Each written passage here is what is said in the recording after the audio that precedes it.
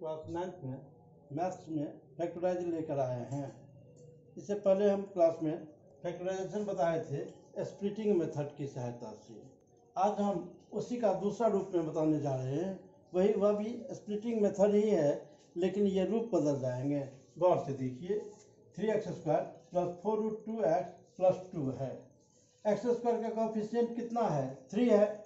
और constant number कितना है? टू है। तो थ्री को टू से मल्टीप्लाई करिए। सिक्स होगा सिक्स को दो पार्ट में तोड़िए। ऐसा होता है टू और थ्री होता है। इस टू को हम क्या लिख सकते हैं? टू को लिख सकते हैं रूट टू गुने रूट टू आ गुने तीन तो है ही। अब देखिए थ्री रूट टू को एक साथ रखिए और रूट टू को अकेला है, वो अलग अलग रखिए। तो थ्री रूट टू में एक एक रूट टू जोड़ेंगे तो क्या होगा? चार रूट टू हो जाएँगे। मैंने स्प्लिटिंग मेथड है। लेकिन किसी एक टर्म को रूट अंडर में लाना है इरेशनल नंबर में लाना है। तो देखिए यहाँ three X square plus three root two X plus root two X plus two है। यहाँ थ्री दोनों में है कॉमन ले लीजिए। एक्स दोनों में है कॉमन ले लीजिए। थ्री एक्स कॉमन लेंगे। एक्स प्लस रूट टू बचेगी। प्लस इन दोनों में देखिए रूट टू कॉमन लीजिए। एक्स प्लस रूट टू होगी। क्योंकि टू को रूट टू गुने रूट टू लिख सकते हैं। एक रूट कॉमन ले लिए हैं तो दूसरा रूट टू बच जाएगी। यहाँ क्या बचा? X plus root two into three X plus root two ऐसा ही कुछ सवाल और हैं। जैसे देखिए यहाँ five X square plus six root three X plus three five को थ्री से मल्टीप्लाई करिए तो फाइव थ्री का कितना होगा? फिफ्टीन, और फिफ्टीन को तोड़िए कौन कौन से टर्म प्राप्त होंगे? थ्री और फाइव होंगे।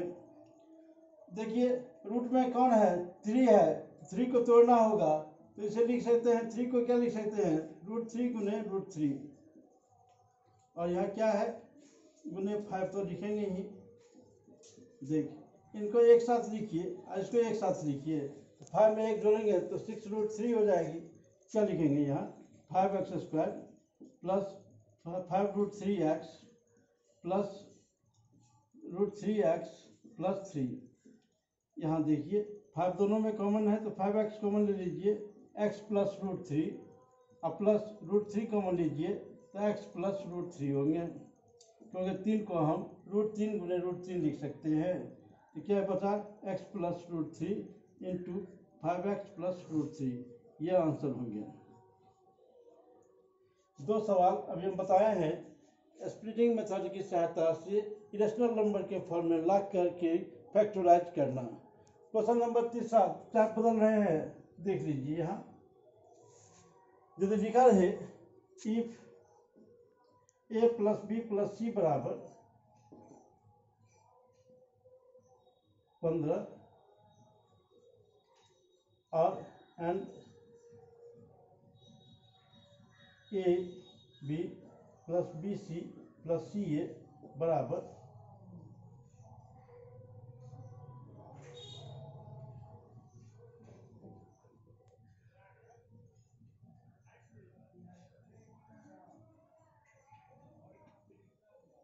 A B plus B C plus C A बराबर sixty eight find the value of find the value of A cube plus B cube plus C cube minus three A B C कैसे value निकालेंगे? वह देखिए, क्योंकि A plus B plus C का whole square बराबर होता है A square plus B square plus C square minus plus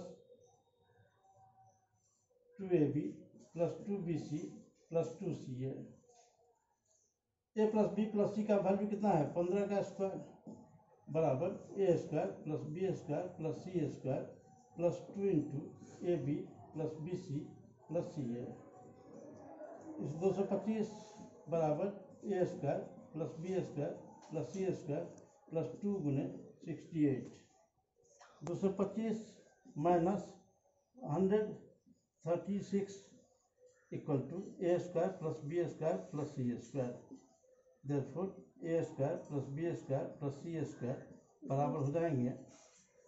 A square plus B square plus C square equal to हो जाएँगे। फाइव में से सिक्स तो, तो नाइन हो जाएँगे। लेवल एट हो जाएँगे।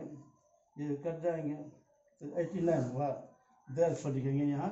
A cube A cube plus B cube plus C cube minus three A B C three A B C बराबर होता है A plus B plus C into A square plus B square plus C square minus A B plus B C plus C A A plus B plus C का मान यहाँ दिया हुआ है fifteen है। A square plus B square का मान मालूम है अभी अभी हम निकाले हैं एट्टी नाइन है minus A B plus B C plus C A का मान सिक्सटी एट है। यहाँ सिक्सटी एट लिखेंगे हम। क्या लिखेंगे? फिफ्टीन इंटू वन टू इक्कीस पंच एक सौ पाँच के पाँच और दस इक्कीस, दस, इकतीस, तीन सौ पंद्रह, ये आंसर आएँगे हम। देखिए फिर से इसको, इसका। इफ़ सवाल बदल रहे हैं। If A plus B plus C बराबर fifteen and A B plus B C plus C A बराबर sixty eight find the value of A cube plus B cube plus C cube minus three A B C कैसे निकालेंगे? आप जानते हो A cube plus B cube plus C cube minus three A B C बराबर formula होता है। A plus B plus C into A square plus B square plus C square minus A B plus B C minus B C minus C है यहाँ A square plus B square plus C square का मान मालूम नहीं है। अगर वह मान मालूम नहीं है तो कैसे निकालेंगे? देखिए चूँकि A plus B plus C का होल स्क्वायर बराबर होता है formula A square plus B square plus C square plus two A B plus two B C plus two C है यानी A plus B plus C का मान कितना है? फिफ्टीन फिफ्टीन का square equal to A square plus B square plus C square plus two सब में common ले लीजिए तो two into A B plus B C plus C A fifteen का स्क्वायर बराबर क्या होगा? Two hundred twenty five equal to A square plus B square plus C square plus two into A B plus B C plus C A का value मालूम है? Sixty eight है। वह put करेंगे यहाँ। तो two hundred twenty five minus hundred thirty six इसे multiply करके इस तरफ़ ले आइए तो प्लस के बदले में माइनस होगी equal to A square plus B square plus C square होगी। So A square plus B square plus C square equal to eighty nine हो गया।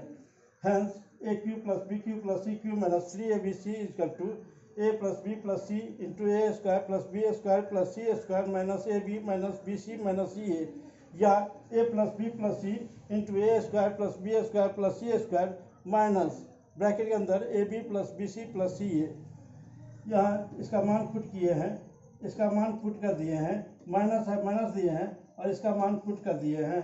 मान आया fifteen into twenty nine twenty one equal to three hundred fifteen ये answer आएँगे। आज इतना ही तक, धन्यवाद।